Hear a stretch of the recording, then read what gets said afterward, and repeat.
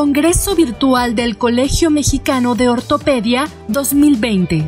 El doctor Marco Antonio Altamirano Cruz se formó como ortopedista en el Hospital de Traumatología y Ortopedia Lomas Verdes del IMSS, donde también realizó un adiestramiento en cirugía de pelvis y politrauma. Posteriormente realiza un adiestramiento en cirugía de cadera y pelvis en Centro Médico Nacional de Occidente, donde actualmente labora como encargado del módulo de pelvis y politrauma. Además de ser el profesor titular de la especialidad en esta institución y formar parte del board de AO Trauma México como delegado de educación. El doctor Altamirano Cruz hablará sobre fijaciones espinopélvicas en la estabilidad posterior de la pelvis. Soy el doctor Marco Altamirano y les voy a hablar de fijación vértebro-pelvinar o espinopélvica. El objetivo de esta charla va a ser analizar las principales indicaciones de una fijación espinopélvica. Vamos también a entender las complicaciones de este tipo de fijación y ver algunos casos. ¿Cuáles son las principales indicaciones de este tipo de fijación? Son la disociación espinopélvica, es decir, cuando hay una desconexión de la columna lumbar con el resto de la pelvis. Esto está asociado a fracturas del sacro en H, en Y, en U, a fracturas multiplanares del sacro, también a fracturas de las pares articulares de L5 y S1, a fracturas asociadas de L5 eh, con la fractura del sacro, también ante la presencia de una fractura de la plataforma superior de S1, cuando hay necesidad de hacer una cirugía de revisión pélvica o el manejo de lesiones inveteradas, este tipo de fijación puede ser bastante útil. También cuando necesitamos hacer una descompresión de las raíces sacras, este tipo de fijación es útil ya que nos permite una adecuada visualización de estas estructuras. ¿Cuál es la, técnica? Básicamente es una instrumentación de las últimas vértebras lumbares aunado a una fijación con tornillos transpediculares de las alas del ilíaco. Aquí vemos el abordaje que es básicamente el convencional para una columna lumbar. Se llega hasta el pedículo donde se hace una instrumentación lumbar convencional con la técnica ya previamente descrita. Una vez que se hace la instrumentación de L5, se identifica la espina ilíaca posterior superior y sin desinsertar el músculo multífidos se tuneliza por debajo para cuidar las partes blandas. Una vez que ya hicimos nuestro abordaje, hay que hacer una instrumentación del ala del ilíaco. Se coloca un tornillo pedicular a este nivel, eh, corroborando la adecuada colocación en las diferentes proyecciones, alar, obturatriz y una lateral eh, con el fluoroscopio. Eh, una vez que hacemos la instrumentación del ala del ilíaco, en este punto tomamos la decisión de realizar una descompresión neural o no, esto dependerá si el paciente presenta una lesión a este nivel que lo requiera. Ya que se hace este procedimiento, procedemos a la fijación. Se coloca una barra que va a unir el tornillo que se colocó en el ala del ilíaco y en el de L5 y en el de L4 si es necesario. Y después se procede a realizar el cierre de, las, eh, de nuestra herida eh, teniendo especial cuidado en cubrir la espina ilíaca posterior superior adecuadamente para que el paciente no tenga molestias. En este punto decidimos si hacemos una triangulación de nuestra fijación. La triangulación se realiza colocando un tornillo sacroiliaco con la técnica convencional. ¿Cuáles son las principales complicaciones de este tipo de fijación? La principal es que se coloque de manera inadecuada el tornillo transpedicular y este pueda estar fuera del pedículo e incluso dentro del conducto medular. Por lo tanto, hay que tener mucho cuidado en corroborar nuestra colocación con el fluoroscopio. Una de las complicaciones también más frecuentes descritas es la lesión de los tejidos blandos. Eh, estas lesiones son eh, relativamente o se describen de manera frecuente. Sin embargo, si tenemos un adecuado cuidado de las partes blandas, podremos evitarlas de manera sencilla.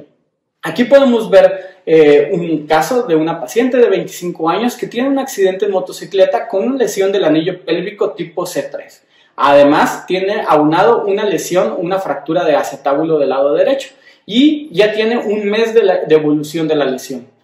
Eh, si analizamos la tomografía, vemos una clara inestabilidad con fractura también de las pares articulares, multifragmentación del sacro. la paciente no tenía adecuada contención de esfínteres, por lo que se decide realizar una fijación de tipo triangular, aunado también a la liberación de las raíces de ese mismo lado.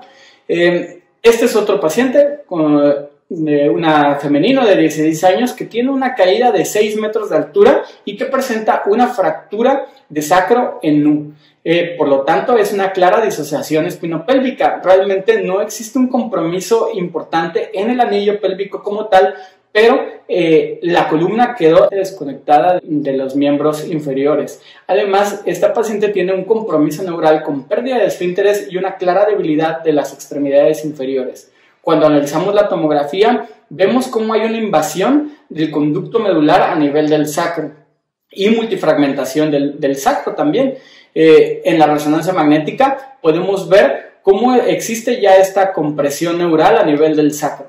Por lo tanto, se hace una reducción de la fractura sacra y una descompresión de las raíces neurales a este nivel y se completa con una fijación vértebro-pelvinar como podemos ver en las radiografías de control. Aquí vemos en la evolución inicial de la paciente, aún con algo de debilidad y todavía en este punto con em, incontinencia urinaria, pero con una clara mejoría en la fuerza muscular. La paciente evoluciona eh, favorablemente poco a poco recuperando la fuerza una vez que ya no hay compresión neural. Esto permite que las raíces sacras empiecen a recuperarse poco a poco. Eh, aquí podemos ver una evolución ya a los dos años de la paciente, donde actualmente puede incluso brincar la cuerda sin ningún problema. Aquí eh, tenemos un paciente de 39 años de edad que tiene una caída también de altura de 8 metros, eh, donde encontramos un compromiso neurológico en este paciente. Eh, tiene también asociada una fractura de L1, una lesión pélvica, fractura de las partes articulares, multifragmentación del sacro y el compromiso neural. Por lo tanto, cumple con muchos criterios para este tipo de fijación. Aquí vemos eh, las imágenes de reconstrucción y este es el tipo de fijación que se decide hacer en este paciente, una fijación de tipo triangular. Y aquí vemos la evolución satisfactoria con recuperación de la fuerza muscular de manera adecuada y favorable. Aquí vemos un paciente de 34 años que tiene un accidente en motocicleta y aparte tiene una lesión abdominal y una fractura a nivel del anillo pélvico de tipo C1 con fractura de acetábulo. Vemos las imágenes tomográficas y la reconstrucción con un claro cizallamiento del anillo pélvico y un compromiso a nivel eh, neural. Entonces, además de la fijación del acetábulo, se decide hacer una fijación triangular con liberación de las raíces sacras. Sin embargo, en esta paciente, a pesar de, la, fijación y la evolución favorable de la consolidación favorable al año de la lesión, la paciente no tiene una recuperación completa en la movilidad de L5, por lo que se requiere, una férula especial para completar su movilidad. Sin embargo, no afecta afortunadamente en su desempeño normal.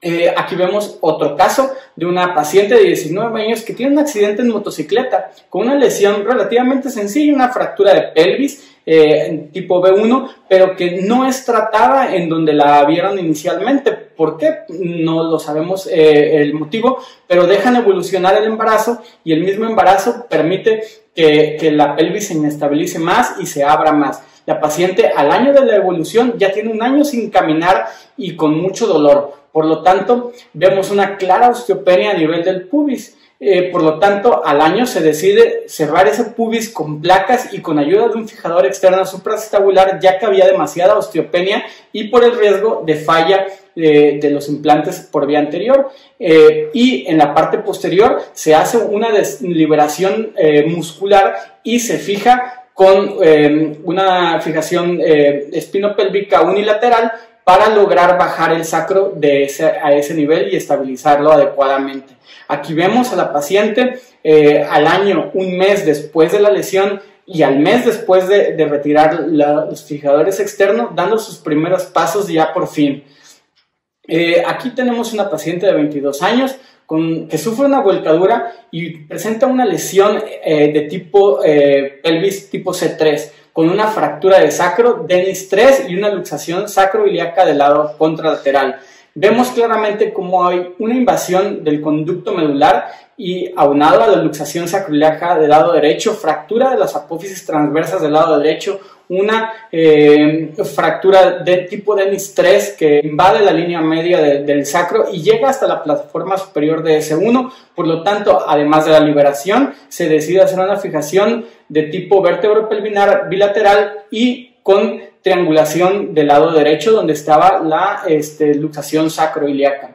Esta es la evolución de esta paciente a los 16 meses después de retirar el material porque a esta paciente le incomodaba el material de osteosíntesis, sobre todo a nivel de las espinas ilíacas pósteros superiores.